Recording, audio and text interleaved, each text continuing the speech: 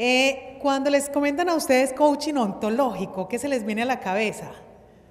¿Sí saben un poco qué es? Qué cosa tan rara, ¿cierto? Y más aún como para cerrar esta exposición. Ser humano, muy bien. La ontología es la ciencia que estudia el ser y coaching significa entrenamiento. Así que sería entrenamiento en el ser. La pregunta que quiero hacerles es cómo se puede entrenar uno para ser un mejor ser humano. ¿Qué se les ocurre? Trabajando con uno mismo. ¿Y de qué manera creerías tú?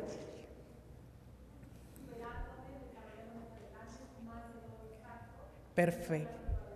Ok, muy bien. Ser coherente con nuestra escala de valores, superándome, mejorando cada día. ¿Qué otra cosa? Capacitándose. Y es muy particular porque cuando pensamos en capacitación y más en el ser humano, de alguna forma a veces creemos que ya estamos como inventaditos, ¿cierto? O sea, como que, ¿qué cosas puedo mejorar? A veces consideramos que lo que podemos mejorar son pocas cosas. Yo digo que pequeñas, grandes cosas son las que transforman el mundo, son las que hacen que nosotros seamos distintos y diferentes. Gandhi decía, uno tiene que ser el cambio que quiere ver en el mundo. Cuando tú cambias, ves cómo el mundo cambia. Pero normalmente lo que estamos buscando es que sea el otro el que cambie. ¿O no les pasa eso? Que ustedes dicen, vea, es que él, mi pareja, mi enamorado, mis hijos o mis empleados son los que tienen que cambiar, ¿cierto?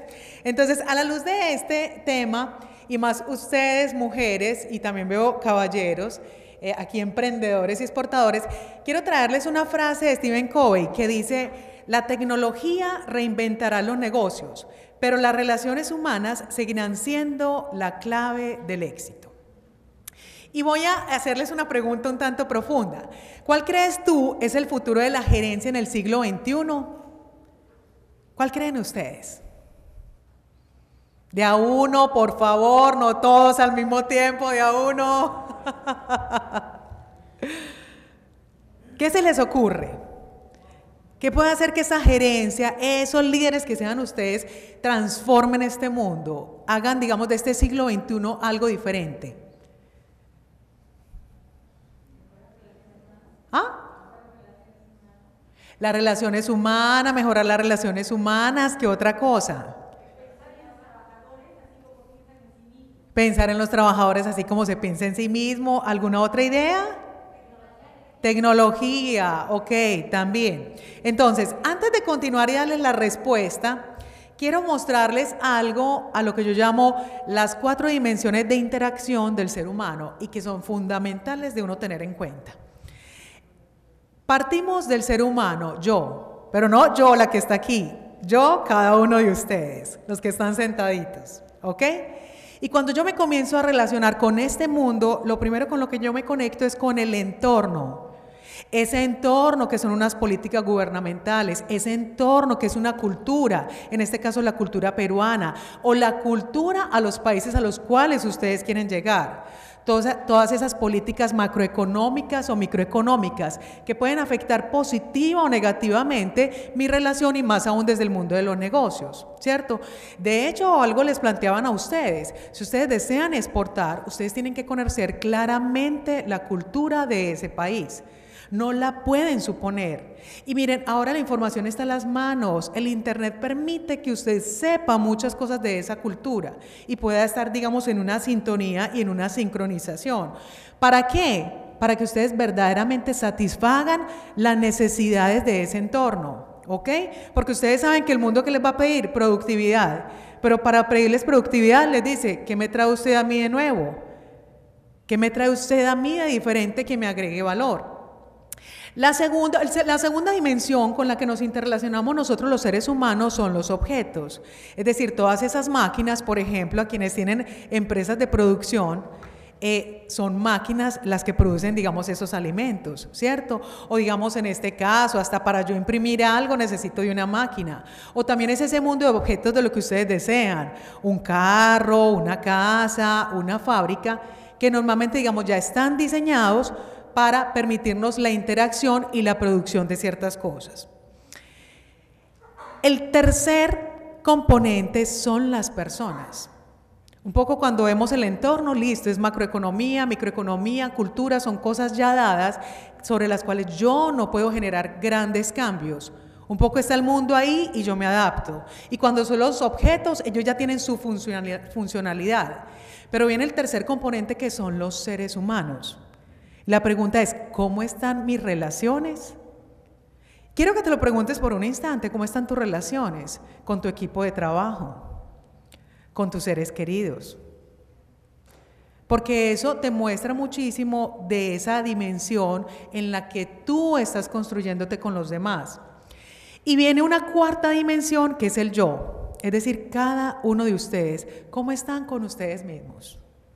Sí, se miran al espejo, pero no pues para peinarse ni arreglarse, sino mirarse al espejo para darse en cuenta de cuáles son sus fortalezas y asimismo de cuáles son sus áreas de mejora porque miren que los seres humanos manejamos estados de ceguera y al manejar esos estados de ceguera no nos permite muchas veces ver esas potencialidades que habitan en mí, así como muchas veces esas cosas en las que yo puedo cambiar.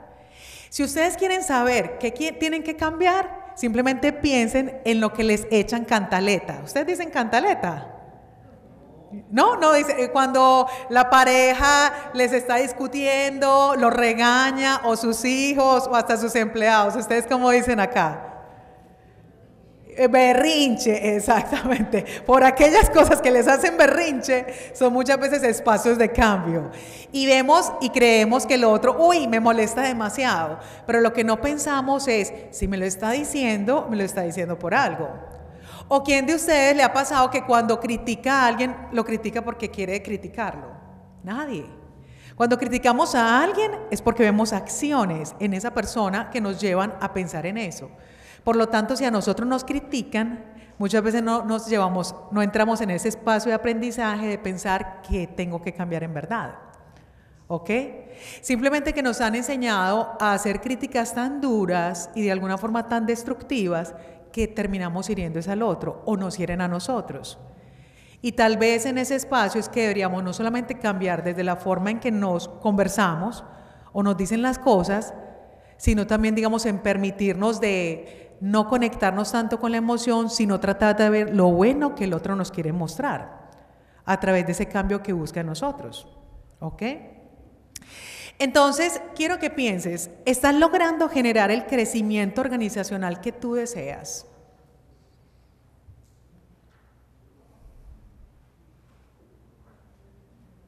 Un buen silencio. Yo creo que claro, posiblemente en unas cosas sí y en otras cosas no. Y para ello quiero decirles entonces cuáles son los aspectos más importantes en los que se basa la gerencia del siglo XXI para transformar las organizaciones. El primero es la innovación. Creen cosas nuevas, no copien. A veces lo que hacemos es dedicarnos a copiar y a buscar copiar de mejor manera las cosas. Pero este mundo no necesita precisamente de cosas copiadas. Este mundo lo que necesita es de cosas diferentes a través de las cuales ustedes como peruanos puedan llevar productos y servicios que sean distintos a un público en el exterior. Distintos a lo que cotidianamente estamos observando. La cultura latinoamericana es una cultura demasiado rica no solamente, digamos, desde la parte étnica, sino también desde esos productos y servicios que puede ofrecer y que suelen ser exóticos para países, digamos, como Estados Unidos o para culturas como la asiática y la europea. Pero muchas veces no nos damos cuenta de esa riqueza que hay ahí. Y son ustedes los creativos, los encargados de generar esos cambios y esas transformaciones en rediseñar, en mejorar, en crear cosas distintas. Por eso, innovar significa volver in o volver de moda algo nuevo. Y ahí es donde está la magia. Lo segundo son las personas. De nada nos sirve una empresa con sus fábricas, con sus máquinas eh, y con toda una operación logística si no hay gente. Porque son los seres humanos los que le dan el dinamismo, son los seres humanos los que vuelven realidad esos productos y servicios que ustedes están manejando. Entonces la pregunta es, ¿de qué manera ustedes están generando relaciones poderosas y potentes, en este caso con su equipo de trabajo? Y la tercera es usted. tus habilidades, ¿las tienes en realidad claras? Porque miren, muchas veces creemos que habilidad es algo por lo que por suerte y azar del destino comienzo yo a hacer.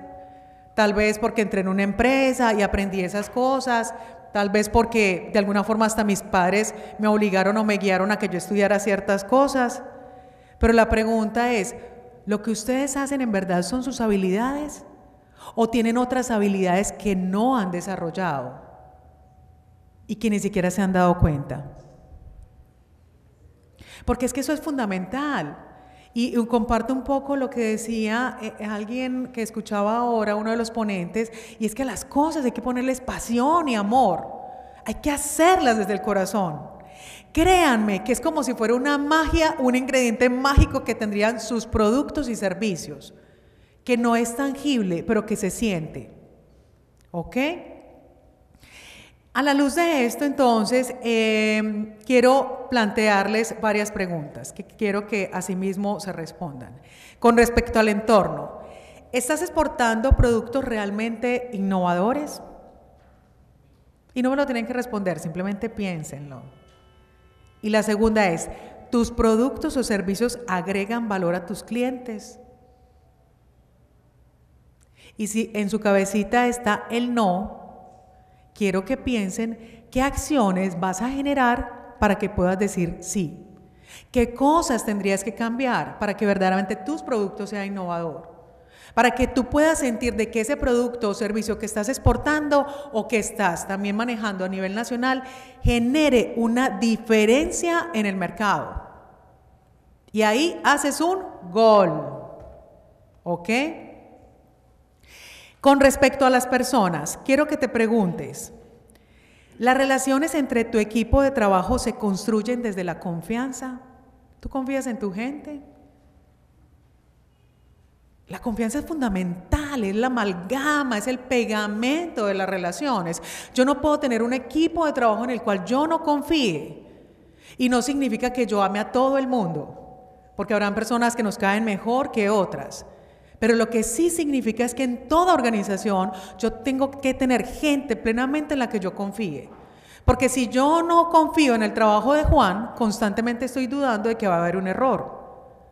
O si yo no confío en la relación que estoy construyendo con Pedro y es mi financiero, lo que voy a pensar es que me va a robar. ¿Cierto? Entonces, en vez de vivir en un mundo, digamos, o en un espacio más potenciado, lo que estoy viviendo es en un mundo de incertidumbre y angustia. Y señores, dejémosle la incertidumbre a los mercados, a la política y a la economía. Pero no permitamos que esa incertidumbre se vuelva parte también de nuestra plataforma organizacional, de nuestra empresa, independientemente al tamaño de la empresa. Porque el hecho de que ustedes, por ejemplo, algunos de ustedes sean microempresarios, su empresa no vale menos que una gran compañía. Vale lo mismo. Ese valor se lo dan ustedes a través de los productos y servicios. Ahí es donde está la clave. ¿Ok? Un poco como decías tú cuando compartías, digamos, el caso de éxito. Eh, digamos, en este caso, la líder de la compañía siempre ha manejado calidad. No lo ha cuestionado. Cuando las compañías ponen dentro de sus valores organizacionales calidad, yo les digo, ¿sabes qué? Para mí la calidad no es un valor, porque es que tiene que ser algo implícito en ese producto o servicio. Es que la calidad ni siquiera se cuestiona, es excelente o no saquen nada. No saquen nada medio bueno o así como bueno, no.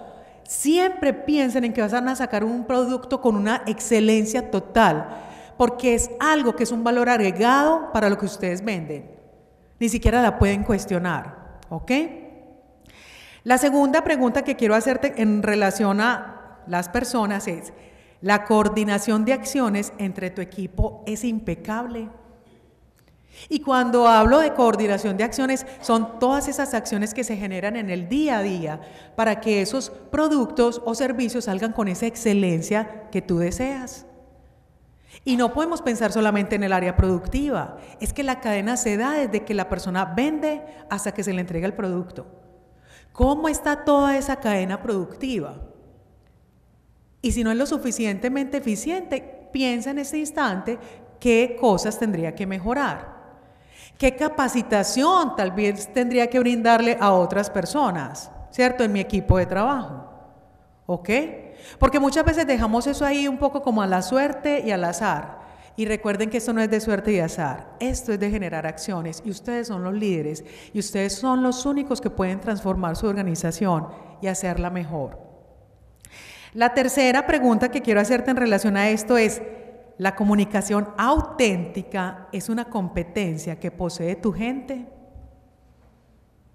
Y cuando hablo de comunicación auténtica, es esa comunicación que me permite a mí expresar verdaderamente lo que yo estoy sintiendo sin herir al otro. Reconocerlo y felicitarlo por las cosas buenas que hace. Y asimismo, si hay cosas que me incomodan, poderme hacer cargo de eso que yo estoy sintiendo y que estoy pensando, llevando a nuevos espacios de aprendizaje a ese otro. Pero también teniendo yo como líder nuevos espacios de aprendizaje, porque créanme que si su equipo falla, si una persona de su equipo falla, es porque ustedes también están fallando y no lo están viendo. Uno cree que la culpa es del otro, pero quiero decirles algo, la culpa no es del otro, la culpa es de los dos. Porque si el otro está cometiendo constantemente ese error, tal vez es porque no le has dado una capacitación suficiente, tal vez porque hay algo que le esté haciendo ruido, que le esté incomodando y no te has hecho cargo de mejorar esa relación por una situación pasada. O tal vez es que la persona no sirve y tienes que tomar decisiones. Y como sabes que Pepita tiene tres hijos, es divorciada, me da tanta pena que por eso no la voto. Entonces son muchos los factores que pueden haber ahí, pero la única forma de yo cambiarlos y transformarlos es a través de conversar. Y eh, conversar de una manera afectiva, que cuando hablo de afectividad estoy hablando de simplemente de respetar a ese otro tal y como es que no me lleve a mí a agredirlo, sino a sumar. Recuerden que las organizaciones estamos para sumar, no para restar. Y con respecto al yo, quiero que te preguntes, ¿eres consciente de tus verdaderas habilidades?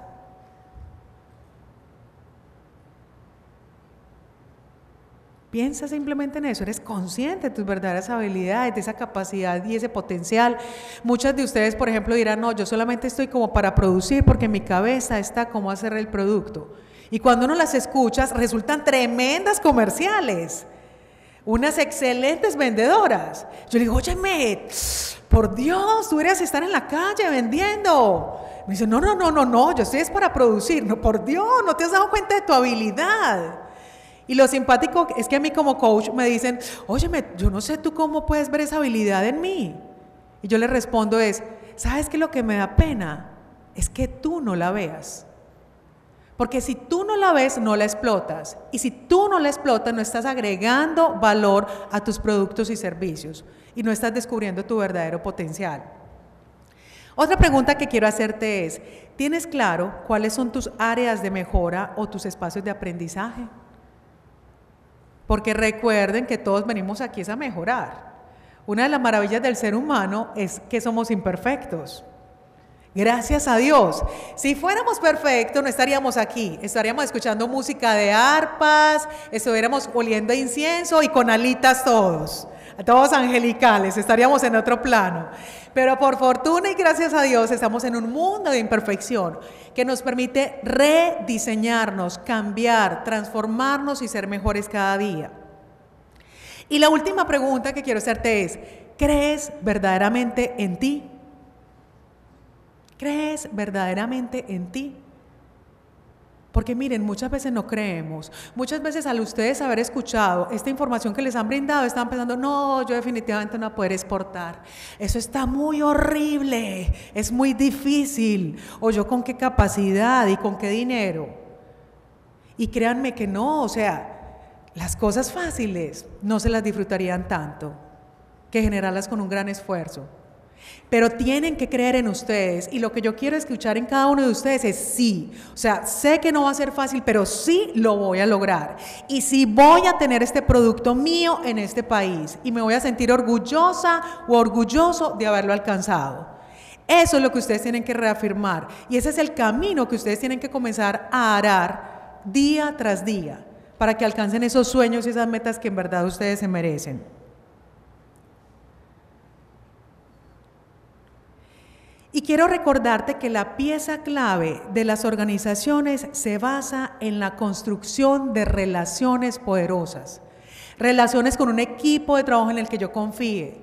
Relaciones donde la gente le quede, le claro sus funciones. Donde podamos comunicarnos de una manera asertiva y afectiva. Donde sumemos, donde confiemos. Donde seamos como una gran familia. Porque miren que decimos que el hogar es en la casa y cuando ustedes laboran, se pasan 8, 10, 12, 14 y hasta 16 horas es en el trabajo. O sea que ¿dónde deberían estar las relaciones más poderosas? En el trabajo. Que ustedes sientan la alegría y la satisfacción de esos espacios a los que ustedes llegan. En casa tenemos a nuestros seres queridos, a los seres que amamos, que nos llenan de esa alegría y que son el motor y el impulso por los cuales ustedes día tras día trabajan, con esfuerzo y con tesón pero permítanse construir relaciones poderosas en su trabajo. Y cuando, digamos, veía yo esta imagen que están observando ustedes, me pareció tan hermoso, porque pienso que eso es lo que hacemos los empresarios día tras día. Cuando nosotros estamos haciendo que las cosas se transformen, cuando tenemos un producto o un servicio en el mercado, no nos damos cuenta que nosotros nos estamos volviendo el ejemplo de otros, de unas nuevas generaciones que pueden ser nuestros hijos, de unas nuevas generaciones que son nuestro equipo de trabajo. Así que yo te invito a que lideres con pasión y que inspires a todas aquellas personas que te rodean, porque en eso consiste el liderazgo, y que te permitas alcanzar tu máximo potencial. Muchas veces no vemos esa gran capacidad que tenemos para lograr cosas. Yo quiero que ustedes se lo permitan. Y créanme que cuando estemos viejitos y hacemos una reunión de estas nuevamente, que ustedes miren su pasado con orgullo y con alegría y decir, fui capaz de hacerlo, lo logré. Y esa es la invitación que quiero dejarles porque los grandes líderes no son los que más dinero tienen, sino los que más pasión y corazón ponen en ese servicio que día a día están brindando a una comunidad. Les deseo muchísimos éxitos y les agradezco muchísimo.